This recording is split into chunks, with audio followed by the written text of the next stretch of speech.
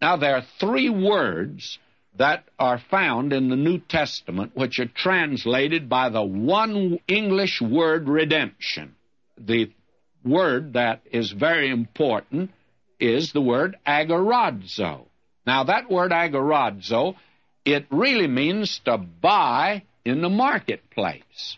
That is the way that it is used. It means to buy in the marketplace. And the picture's this. Here goes a housewife out of a morning to the marketplace. She wants to buy some vegetables and a roast for the day. And she goes in and she sees the roast and the vegetables. She puts down cash on the barrel head and she pays the price. And now they belong to her, of course. In other words, the only thought in this word is just to buy and take out. That's the word that Paul used in 1 Corinthians 6:20, "For ye are bought with a price. Therefore glorify God in your body and in your spirit which are God's." He went in and bought us out of the slave market. That is the word, and that's all this word means.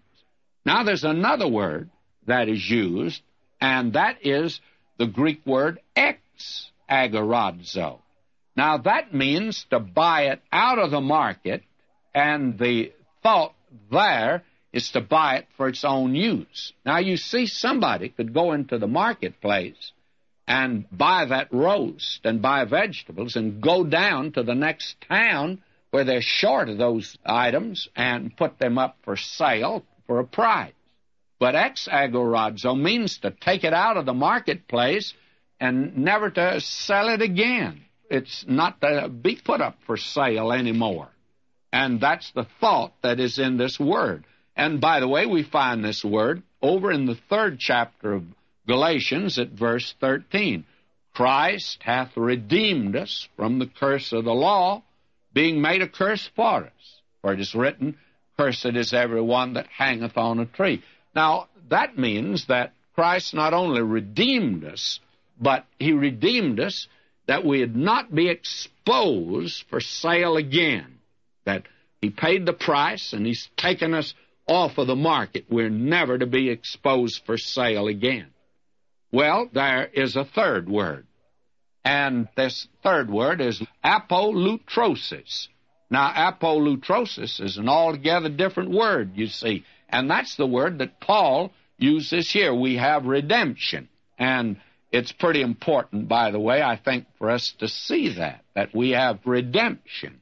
And we have redemption through his blood.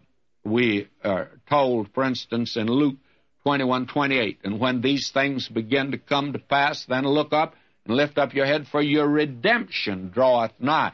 Now, that's a marvelous word. It means not only to go into the marketplace, put cash on the barrel head, it means not only to take it out of the market to use for your own private use and never to sell it again, but it means now to set free, to pay a price and to set free. It means to liberate when the ransom is paid. It means to buy out of slavery in order to set a person free. And this is the word that we have here. Now, man's been sold under sin, and he's in the bondage of sin. All you have to do is look around you today. Man is a rotten, corrupt sinner, and he can't do anything else but sin. And he's a slave to sin. Now, Christ came to pay the price of his freedom. And that's what the Lord Jesus meant when he said, If the Son make you free, you'll be free indeed. Now, here is something else that is quite wonderful. We're told that we have redemption through his blood. That's the price he paid. And Peter speaks of that blood. He says, For as much as ye know that you were not redeemed with corruptible things as silver and gold, from your vain conversation received by tradition from your fathers, but with the precious blood of Christ, as of a lamb without blemish and without spot. Now, the blood of Christ is more valuable than silver or gold. To begin with, there's not too much of it. What is it, three gallons in a human body? Or is there that much? Well, anyway, it's a, a, limited supply, and that always runs a price up, you know, the scarcity of the item. But the important thing is that one drop of that blood would save every sinner on top of this earth if he'd trust it. And we have redemption now through his blood.